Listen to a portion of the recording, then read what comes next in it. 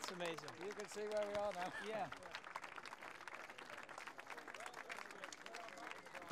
now. Yeah.